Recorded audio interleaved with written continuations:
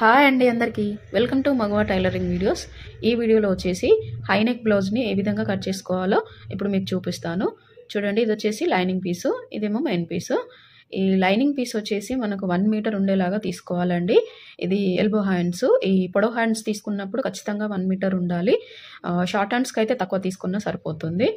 చూడండి ఈ విధంగా లైనింగ్ పీస్ని తీసుకున్న తర్వాత ఈ క్లోజ్ వచ్చేసి మన వైపు ఉండాలి. ఓపెన్స్ వచ్చేసి మనకు ఆపోజిట్లో ఉండేలాగా తీసుకోవాలి. చూడండి ఈ విధంగా. చూసారా? ఇలా క్లోజ్ వచ్చేసి మన వైపు ఉండేలాగా ఓపెన్స్ వచ్చేసి మనకు ఆపోజిట్ ఉండేలాగా ఈ విధంగా పెట్టుకోవాలి లైనింగ్ని. ఇప్పుడు ఈ కింది వైపున ఎడ్జెస్ వచ్చేసి సమానంగా ఉండేలాగా ఈ విధంగా ఎల్ స్కేల్తో ఒక లైన్ డ్రా చేసుకొని కట్ చేసుకోవాలి. ఎల్ స్కేల్ తీసుకోవడం వల్ల ఏంటంటే మనకు స్ట్రైట్గా వస్తుంది క్రాస్లు అవి లేకుండా స్ట్రైట్గా ఉంటుందండి లైను. ఈ విధంగా ఎడ్జెస్ని కట్ చేసుకున్న తర్వాత ఇప్పుడు బ్లౌజ్ పొడవు మార్కింగ్ చేసుకుందాము. ఇది వచ్చేసి కొలత బ్లౌజు. కొలత బ్లౌజ్ యొక్క పొడవుని ఈ విధంగా మనకు ఒకసారి ఒకవైపు కొలుచుకోవాలి. చూడండి ఇక్కడ షోల్డర్ జాయింట్ దగ్గర నుండి కింది వైపు. ఇక్కడ షోల్డర్ జాయింట్ ఉంది కదా ఇక్కడ ఈ విధంగా టేప్ని ఈ విధంగా పట్టుకొని కింది చివరి వరకు ఇలా చూసుకోవాలి మనకు బ్లౌజ్ హైట్ అనేది. ఇది వచ్చేసి పద్నాలుగున్నర ఇంచులు ఉంది అంటే ఖర్చులతో కలిపి పదిహేనున్నర ఇంచులకి మార్కింగ్ చేసుకోవాలి. కింది వైపున ఒక హాఫ్ ఇంచు పై వైపున ఒక హాఫ్ ఇంచు ఖర్చులతో కలిపేసి వన్ ఇంచు ఎక్స్ట్రా తీసుకోవాలి. చూడండి అదే విధంగా పదిహేనున్నర ఇంచులకు ఈ చివరను కూడా ఈ విధంగా మార్కింగ్ చేసుకొని లైన్ డ్రా చేసుకోవాలి.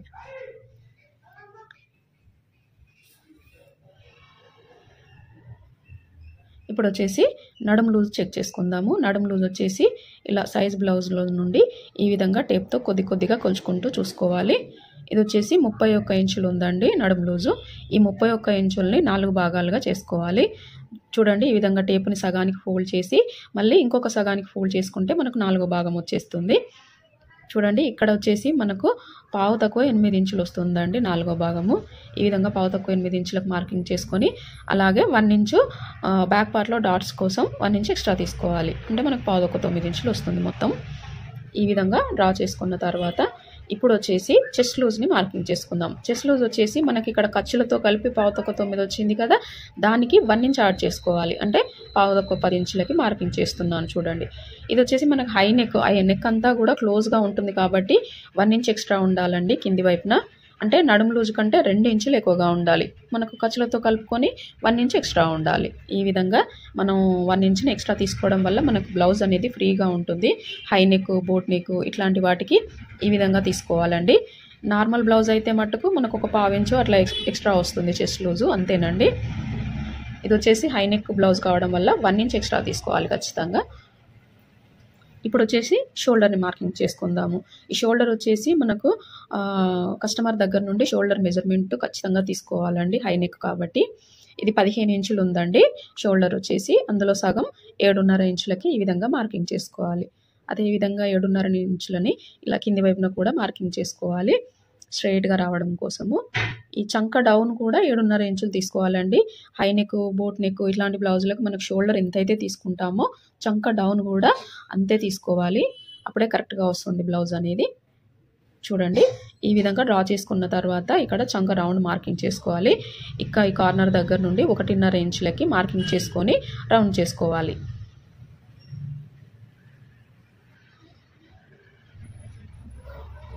చూడండి ఈ విధంగా చంక రౌండ్ని మార్కింగ్ చేసుకోవాలి. ఇప్పుడు వచ్చేసి మనకు నెక్ అదే విధంగా నెక్ వెడల్పు షోల్డర్ని మార్కింగ్ చేసుకుందాం. ఇప్పుడు నెక్ వెడల్పు వచ్చేసి నేను మూడున్నర ఇంచులకి మార్కింగ్ చేస్తున్నాను.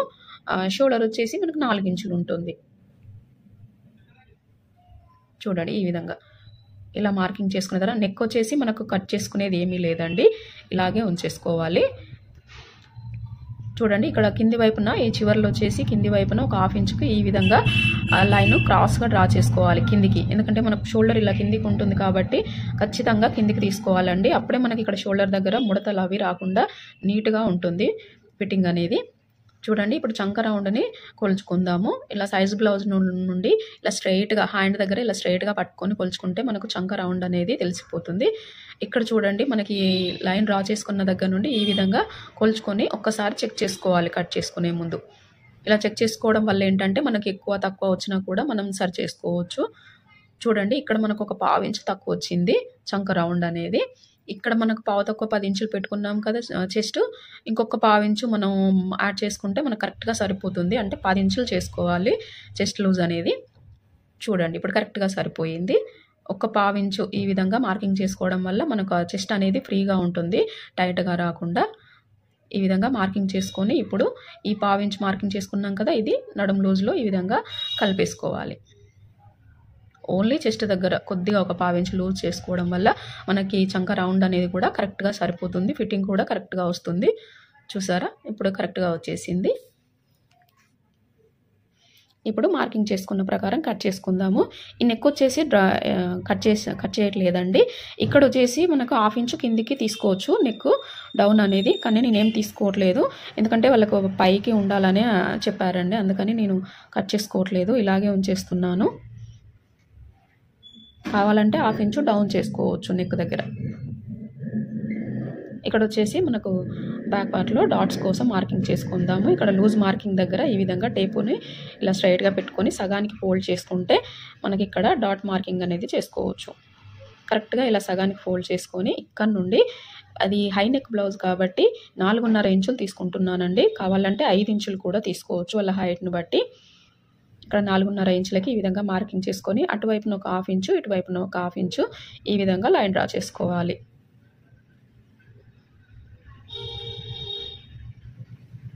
అంతేనండి బ్యాక్ పార్ట్లో డాట్ మార్కింగ్ కూడా అయిపోయింది. ఇక్కడ వచ్చేసి చిన్న కట్ పెట్టుకుంటే కుట్టేటప్పుడు ఈజీగా ఉంటుంది. బ్యాక్ పార్ట్ కటింగ్ అయిపోయిందండి. ఇప్పుడు వచ్చేసి హ్యాండ్స్ని కట్ చేసుకుందాము. హ్యాండ్స్ వచ్చేసి మనం ఆ చివర బ్యాక్ పార్ట్ తీసుకున్నాం కాబట్టి ఇటువైపు చివర వచ్చేసి హ్యాండ్స్ తీసుకోవాలి. ఇది ఫోల్డింగ్ మీద ఉంది కదండి. ఈ ఫోల్డింగ్ మీద ఉన్నదాన్ని ఇంకొక ఫోల్డింగ్ వేసుకోవాలి. ఇంకొక ఫోల్డింగ్ వేసుకుంటే ఇలా మనకు టూ హ్యాండ్స్ వస్తాయి ఇందులో. స్ట్రైట్గా రావడం కోసం ఈ విధంగా స్కేల్తో ఒక లైన్ డ్రా చేసుకొని కట్ చేసుకోవాలి.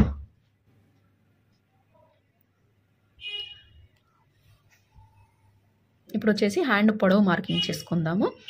చూడండి మనకు సైజ్ బ్లౌజ్లో హ్యాండ్ ఏ సైజ్ అయితే ఉందో అదే సైజ్ పెట్టమన్నారు.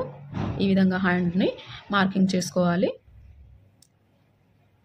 ఇది వచ్చేసి పది ఇంచులు ఉందండి. అంటే ఖర్చులతో కలిపి పదకొండు ఇంచులకి మార్కింగ్ చేసుకోవాలి. అంటే పై వైపున ఒక హాఫ్ ఇంచు కింది వైపున ఒక హాఫ్ ఇంచు ఖర్చులకు యాడ్ చేసుకోవాలి.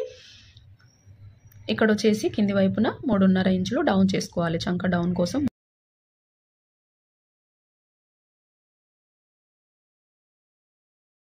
ఇప్పుడు హ్యాండ్ చివర్ లూజ్ మార్కింగ్ చేసుకుందామండి. హ్యాండ్ చివర్ లూజ్ ఈ విధంగా మార్కింగ్ చేసుకున్న తర్వాత చంక రౌండ్ని మార్కింగ్ చేసుకోవాలి. ఇక్కడ బ్యాక్ పార్ట్లో చంక రౌండ్ని కొలుచుకున్నాం కదా అదే చంక రౌండ్ని ఇక్కడ తీసుకోవాలి. మనకు బ్యాక్ పార్ట్లో ఎంతైతే తీసుకున్నామో హ్యాండ్ కూడా అదే చంక లూజ్ని మార్కింగ్ చేసుకోవాలండి. అప్పుడే కరెక్ట్గా వస్తుంది. ఈ విధంగా క్రాస్గా మార్కింగ్ చేసుకొని ఇక్కడ వచ్చేసి మనకు స్టార్టింగ్ దగ్గర ఒకటిన్నర ఇంచు ఉండేలాగా మార్కింగ్ చేసుకోవాలండి. ఈ ఒకటిన్నర ఇంచు నుండి హ్యాండ్ లూజ్ మార్కింగ్ వరకు ఈ విధంగా డౌన్ చేసుకోవాలి కొద్ది కొద్దిగా. చూసారా? హ్యాండ్ షేప్ అనేది ఈ విధంగా రావాలి.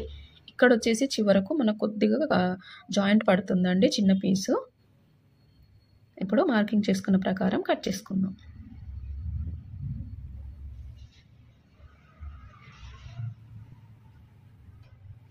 ఈ చివరిని వచ్చేసి ఇలా కట్ పెట్టుకుంటే మనకు మిడిల్ పార్ట్ అనేది క్లియర్గా తెలుస్తుంది. ఇప్పుడు ఈ మిగిలిన పీస్లో వచ్చేసి మనకు ఫ్రంట్ పార్ట్ని కట్ చేసుకుందాం.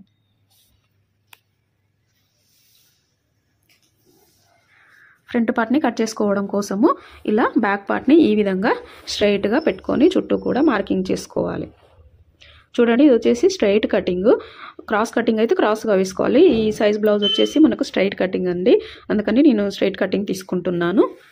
చూడండి ఈ విధంగా స్ట్రైట్గా బ్యాక్ పార్ట్ని ఇలా ఇలా స్ట్రైట్గా పెట్టుకొని చుట్టూ కూడా మార్కింగ్ చేసుకోవాలి. మనకు బ్యాక్ పార్ట్ ఏ విధంగా అయితే ఉందో అలా చుట్టూ మార్కింగ్ చేసుకోవాలి.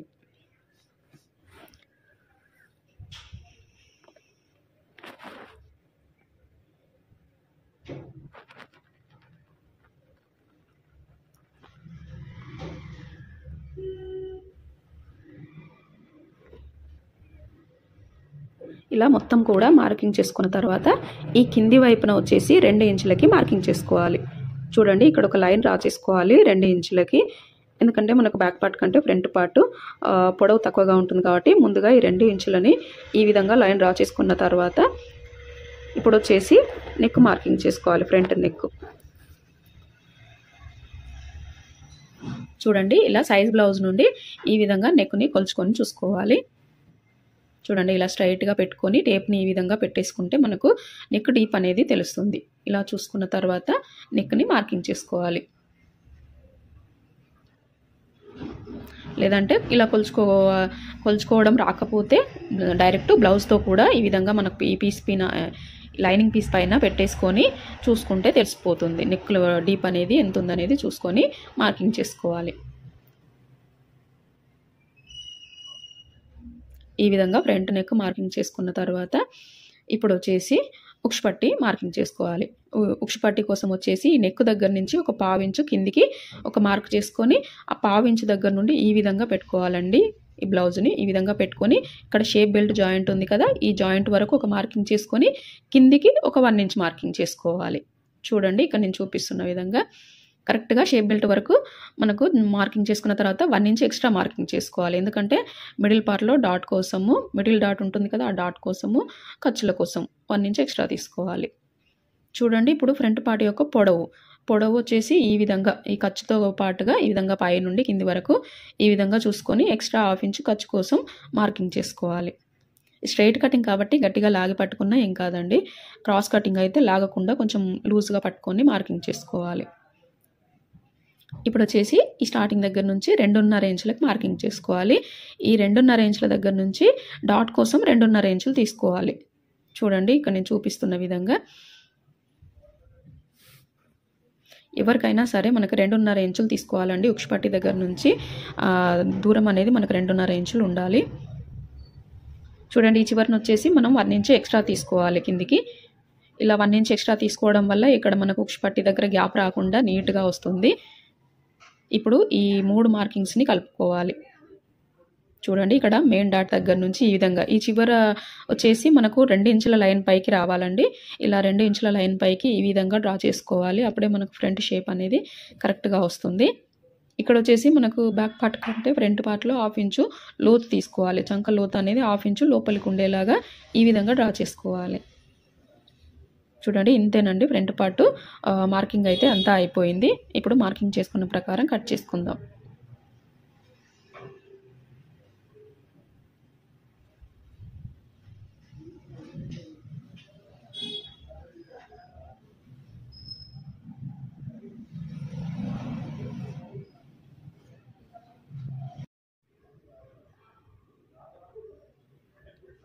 ఈ విధంగా మొత్తం కట్ చేసుకున్న తర్వాత ఇక్కడ మెయిన్ డాట్ దగ్గర వచ్చేసి ఇలా కట్స్ పెట్టుకుంటే మనకు స్టిచ్ చేసేటప్పుడు ఈజీగా ఉంటుంది. చూడండి ఫ్రంట్ పార్ట్ కటింగ్ అయితే అయిపోయింది. ఇప్పుడు వచ్చేసి షేప్ బెల్ట్ కట్ చేసుకుందాము. ఈ మిగిలిన పీస్లో వచ్చేసి మనకి షేప్ బెల్ట్ సరిపోతుందండి. చూడండి షేప్ బెల్ట్ పొడవు వచ్చేసి మనకు బ్యాక్ పార్ట్ ఎంత వెడల్పు అయితే ఉందో ఆ బ్యాక్ పార్ట్ని బట్టి తీసుకోవాలి. మనం షేప్ బెల్ట్ వెడల్పు వచ్చేసి. షేప్ బెల్ట్ హైట్ వచ్చేసి ఇక్కడ స్టార్టింగ్ దగ్గర నాలుగు ఇంచులు మధ్యలో వచ్చేసి మూడు ఇంచులు ఈ చివరన వచ్చేసి మూడున్నర ఇంచులు ఉండేలాగా చూసుకొని కట్ చేసుకోవాలి. చూడండి ఈ విధంగా నేను చూపిస్తున్న విధంగా డ్రా చేసుకొని కట్ చేసుకోవాలి.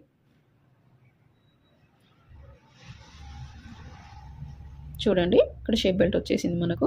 ఇంకా రెండు పీసులు వచ్చేసాయి కదా ఇందులో ఈ మిగిలిన పీసులో ఇంకొక రెండు పీసులు కట్ చేసుకుంటే సరిపోతుంది.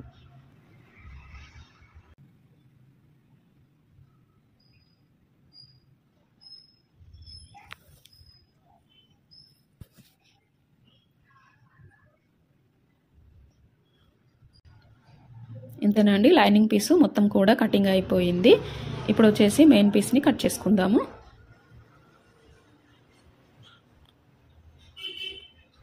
ఇది వచ్చేసి మెయిన్ పీసు ఇందులో వచ్చేసి మనకు ఈ ఫ్లవర్ డిజైన్ అనేది ఎటువైపు వచ్చిందో చూసుకొని మన పైకి ఫ్లవర్స్ అనేవి పైకి వచ్చేలాగా చూసుకొని కట్ చేసుకోవాలి. చూడండి ఇటువైపున వచ్చేసి హ్యాండ్స్ తీసుకుంటున్నాను. ఈ ఫ్లవర్స్ అనేవి మనకు కరెక్ట్గా ఉన్నాయో లేదా చూసుకోవాలి. ఇలా డిజైన్స్ వచ్చినప్పుడు ఈ చివరను వచ్చేసి హ్యాండ్స్ తీసుకోవాలి.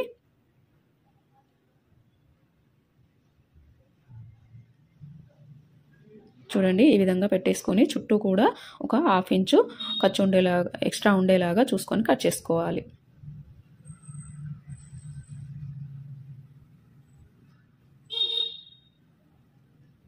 ఇక్కడ వచ్చేసి మనం బ్యాక్ పార్ట్ తీసుకోవాలి. ఎందుకంటే ఇక్కడ మన ఫ్లవర్స్ అనేవి ఇలా పై వైపుకి వచ్చేసాయి కాబట్టి హ్యాండ్స్ తీసుకోగానే ఇటువైపునే బ్యాక్ పార్ట్ కట్ చేసుకోవాలి.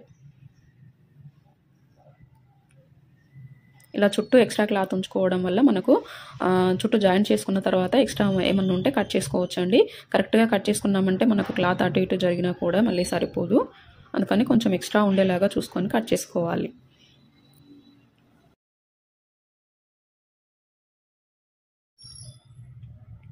ఇలా ఈజీగా కట్ చేసుకోవచ్చు అండి హై నెక్ బ్లౌజ్ అంటే ఓన్లీ బ్యాక్ పార్ట్లోనే మనకు పై వరకు ఉంటుందండి నెక్ వచ్చేసి.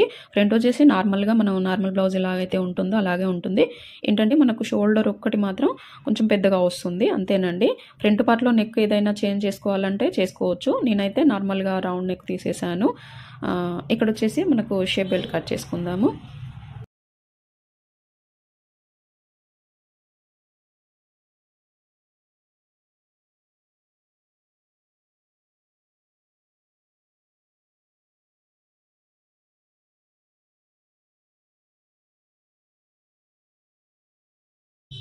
చూడండి కటింగ్ అంతా అయిపోయింది. ఈ దీని స్టిచ్చింగ్ వచ్చేసి నేను నెక్స్ట్ వీడియోలో చూపిస్తాను. ఈ వీడియో కనుక మీకు నచ్చినట్లయితే లైక్ చేయండి షేర్ చేయండి. అలాగే మన ఛానల్ని ఇంతవరకు సబ్స్క్రైబ్ చేసుకోకపోతే సబ్స్క్రైబ్ చేసుకోండి. Thank you for watching